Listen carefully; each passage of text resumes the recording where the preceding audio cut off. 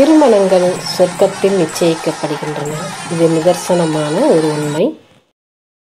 கல்யாணம் பண்ணிப்பார் வீட்டை கட்டிப்பார்னு பெரியோர்கள் வந்து அடிக்கடி சொல்லிகிட்டே இருப்பாங்க.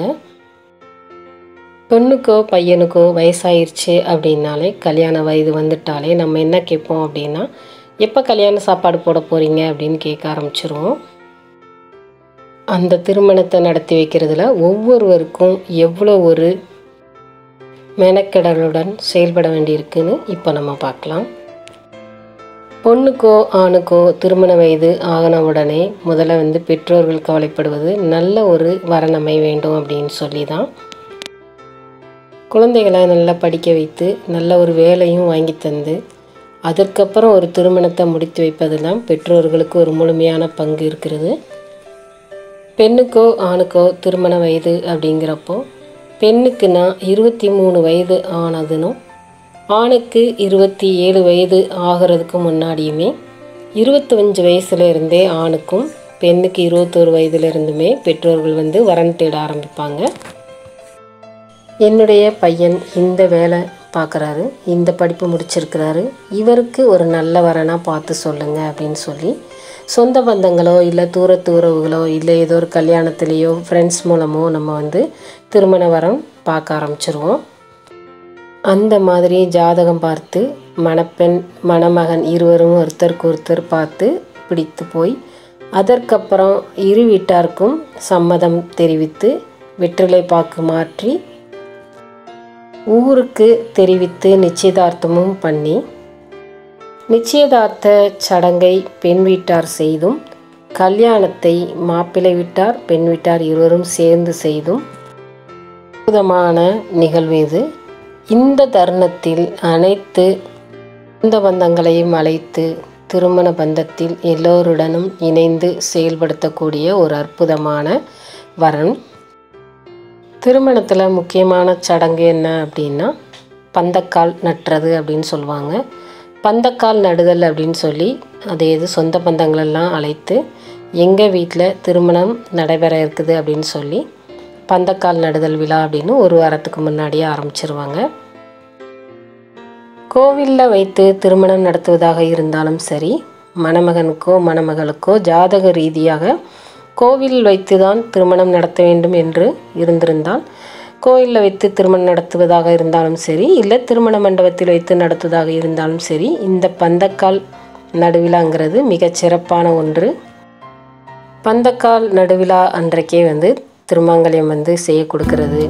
அதே மாதிரி புடவை எடுக்கிறது. மணப்பெண் மணமகனுக்கும் அதை திருமணத்திற்கு தேவையான புடவைகள் அப்புறம் நகைகள் இதெல்லாம் வாங்குறதா இருந்தாலும் சரி அன்னைக்கே இந்த வேலைகள்லாம் முடிக்க ஆரம்பிச்சிருவாங்க. அடுத்ததாக வந்து திருமணம்னாலே மருதாணி இல்லாமல் எந்த ஒரு ஃபங்க்ஷனும் நிறைவு பெறாது. கண்டிப்பாக வந்து மெஹந்தி ஃபங்க்ஷன் இருக்கும். நம்ம முன்னாடியெல்லாம் வந்து பார்த்திங்கன்னா மருதாணியை நல்லா வந்து புளி கொட்டைப்பாக்கு எலுமிச்சம்பழம் இதெல்லாம் வச்சு அரைச்சி நல்லா வந்து அழகாக மருதாணி போட்டு அந்த மாதிரி தான் நம்ம வளர்க்கோம் அதே மாதிரி வாசல்லையும் பார்த்திங்கன்னா அழகழகான கோலம் அந்த ஒரு வாரம் வரைக்குமே நல்லா வந்து பெரிய பெரிய கோலமாக போட்டு அலங்கரிக்கிறதும் உண்டு. எது என்னவோங்க? கல்யாணம்னாலே வந்து சாப்பாடு அதுவும் கல்யாண சாப்பாடு அப்படின்னாலே எல்லோருக்கும் மனதுக்குள்ள ஒரு உசத்தை தரக்கூடியது. ஒரு கல்யாணம் ஆடம்பரமாக பண்ணினாலும் சரி இல்லை சிக்கனமாக பண்ணாலும் சரி சாப்பாடு மட்டும் ஒரு சிறப்பானது ஒரு விருந்தா வர்றவங்களுக்கு நம்ம விருந்தளித்தோம்னா அந்த கல்யாணம் மிக மிக சிறப்பானதாக பேசப்படும்.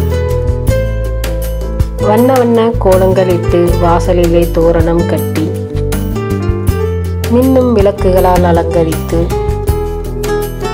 பாக்கு வெற்றலை மாட்டி பரிசமும் போட்டு சொந்த பந்தங்களுக்கு சொல்லி அழைத்து சொந்தத்தை நேரில் அழைத்து தூரத்து உறவினர்களை தபாலில் அழைத்து அன்பர்கள் நண்பர்களை அன்பாய் அழைத்து கையிருப்பை கரைத்து கடனுடன் வாங்கி ஒவ்வொரு செயலையும் செய்யும் முன் நல்ல நேரம் பார்த்து விநாயகரை முன்னிறுத்தி குல தெய்வத்தை துணைக்கு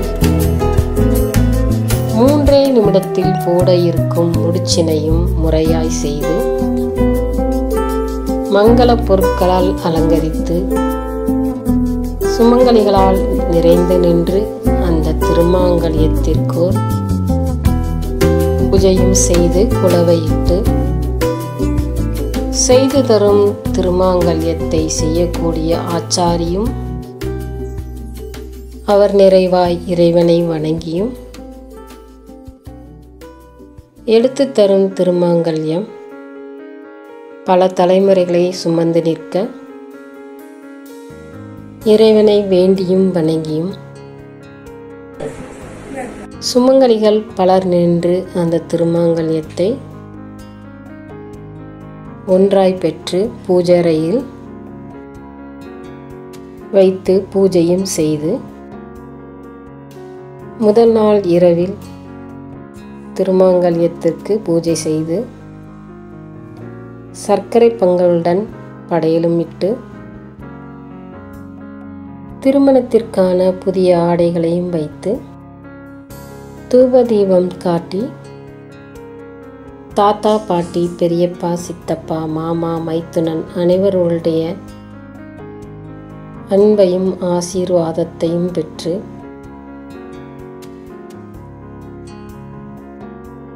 நடைபெறும் ஒவ்வொரு திருமணமுமே நிச்சயமாக சொர்க்கத்தில் நிச்சயிக்கப்பட்டவையே.